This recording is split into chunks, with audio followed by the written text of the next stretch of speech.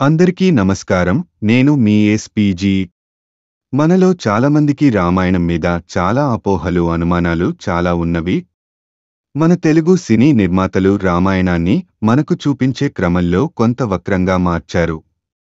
అంటే లేనిది ఉన్నట్లుగా ఉన్నది లేనట్లుగా వారి యొక్క సొంత కవిత్వాలను మనపై రుద్దడానికి ప్రయత్నించారు.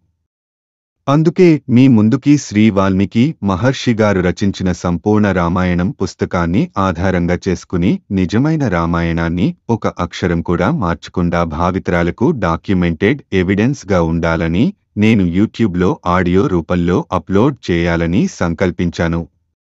మీరు మీ రోజువారీ కార్యక్రమాలు చేసుకుంటూ ప్రతిరోజు సాయంత్రం ఆరు ముప్పైకి వినవచ్చు. శ్రీ రామచంద్ర ప్రభువుల వారి ఆశీస్సులతో ముందుకు కొనసాగుతున్నాను. మీ ముందుకు చాలా శ్రద్ధతో మరియు భక్తితో తీసుకొస్తున్నా. ఈ ప్రయాణంలో మాకు మీ మద్దతు అవసరం.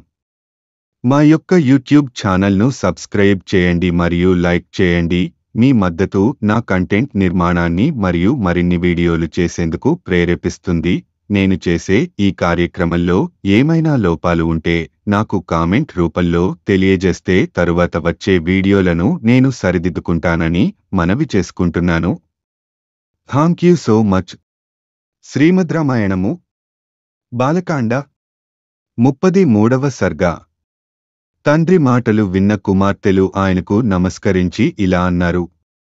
వాయుదేవుడు ధర్మము తప్పి మమ్ములను వివాహము చేసుకుంటాను అని అన్నాడు. మేము తిరస్కరించాము.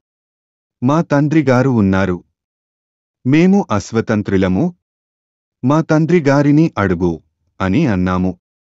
దానికి ఆయన కోపించి మమ్ములను దుర్బలులుగా చేశాడు. ఇది జరిగిన సంగతి అని చెప్పారు. వారి మాటలు విన్న కుశనాభుడు వారితో ఇలా అన్నాడు. కుమార్తెలారా మీరు మంచి పని చేశారు. మీ ఓర్పును మెచ్చుకుంటున్నాను. మీరు వాయుదేవుని క్షమించి విడిచిపెట్టారు. పురుషులకు స్త్రీలకు ఓర్పు అలంకారము ఓర్పు దానము ఓర్పు యజ్ఞము ఓర్పు సత్యము ఓర్పు కీర్తి ఓర్పు ధర్మము ఓర్పు మీదనే ఈ ధరణి అంతా నిలిచి ఉంది. కాని దేవతలకు ఓర్పు ఉండదు. కాబట్టి మీ ఓర్పును ప్రశంసిస్తున్నాను అని పలికాడు. తరువాత కుశధ్వజుడు మంత్రులతో తన కుమార్తెల వివాహముల గురించి మంతనాలు సాగించాడు. ఆ సమయమున చూడి అనే మహర్షి తపస్సు చేస్తున్నాడు. ఆయనకు సోమద అనే గంధర్వ కాంత పరిచర్యలు చేస్తూ ఉంది. ఆ గంధర్వ కన్య పరిచర్యలకు చూడి చాలా సంతోషించాడు. ఓ కన్యా నీకు ఏమి కావాలో కోరుకో అని అడిగాడు. ఓ మహర్షి నాకు పుత్ర సంతానము కావాలి. కాని నాకు భర్త లేడు. నేను ఎవరికీ భార్యను కాను.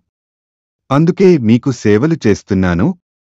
తమ వలన నాకు బ్రహ్మ తేజస్సు కలిగిన పుత్రుడు కలిగే వరమును ప్రసాదించండి టుట్ అని అడిగింది. చూడి ఆమె కోర్కెను మన్నించాడు.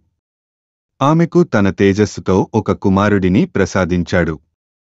ఆయనే చూడి మానస పుత్రుడు.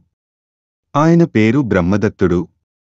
సోమద కుమారుడైన బ్రహ్మదత్తుడు కాంపిల్య నగరంలో నివసిస్తున్నాడు. ఇది ఇలా ఉండగా కుశనాభుడు తన నూగురు కుమార్తెలను బ్రహ్మదత్తునికి ఇచ్చి వివాహయు చేయవలెనని నిశ్చయించుకున్నాడు. ఆ విషయం బ్రహ్మదత్తునితో సంప్రదించాడు. ఈ వివాహానికి బ్రహ్మదత్తుడు ఒప్పుకున్నాడు. కుశనాభుడు తన నూర్గురు కుమార్తెలను బ్రహ్మదత్తునికి ఇచ్చి వివాహం జరిపించాడు. బ్రహ్మదత్తుని చేతి స్పర్శ తగలగానే వారికి వాయుదేవుని వలన కలిగిన దుర్బలత్వము తొలగిపోయింది. పరిపూర్ణ ఆరోగ్యంతో ప్రకాశించారు. బ్రహ్మదత్తుడు తన నూర్గురు భార్యలతో కాంపిల్యల నగరం చేరుకున్నాడు. సోమద తన కోడళ్ళను చూసి మురిసిపోయింది. వారి అందచందాలను చూసి ఎంతో సంతోషపడింది. శ్రీమద్రామాయణము బాలకాండ ముప్పది మూడవ సర్గ సంపూర్ణము. ఓం తత్సత్ ఓం తత్సత్ ఓం తత్సత్